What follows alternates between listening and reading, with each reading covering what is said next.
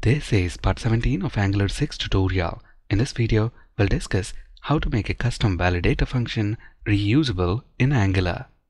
The built-in Angular validators like min, max, required, pattern, etc. are reusable. This means we can use them on any form control on any Angular form. To be able to use these built-in validators, all we have to do is import the validators class from Angular Forms package and then tie the validator functions to the form control that you want to validate. In this case, on full name form control, we're using three validator functions, required, min length, and max length. Now, if we take a look at one of these built-in validator functions, notice it's implemented as a static function. This allows us to use this validator function without having the need to create an instance of validators class. We have built a custom validator function in our previous video, and that function at the moment is within our create employee component file. We want to make this email domain custom validator function reusable just like the built-in validator functions so we can use it with any form control on any Angular form. So the first thing I'm going to do is create a new folder in our Angular project. Let's name the folder shared. To the shared folder, let's add a new TypeScript file. I'm going to name it custom.validators.ts. We want to create a class in this file. I'm going to export this class as well so we can import it from the other files where we need it. I'm going to name this class custom validators.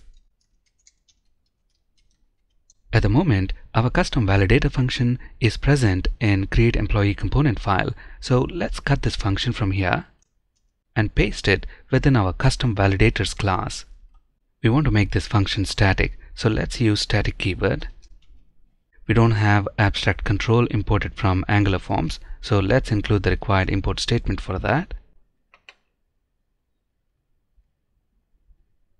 With this change, we made our custom validator function reusable just like the built-in validators. To be able to use this custom validator function on any form control on any Angular form, all you have to do is import this custom validators class and then tie this email domain static function to the form control that you want to validate. At the moment, we're using this custom validator on email form control in our create employee component.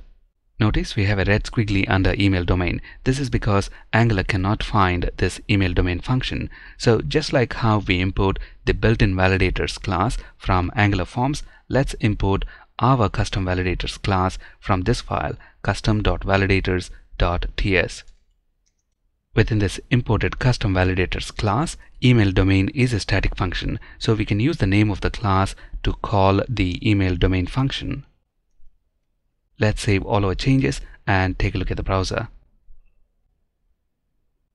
Our custom validator should work exactly the same way as before. Notice within the email field, if I enter any domain other than Dell.com, we have the validation error. Email domain should be Dell.com.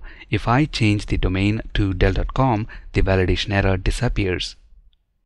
So, to make your custom validators reusable, first create and export a class. Within that class, include all your validator functions as static functions. Once this is done, just like the built-in validators, we can use our custom validators on any form control that we want to validate. All we have to do is first import the custom validators class and then tie the validator function to the form control that you want to validate.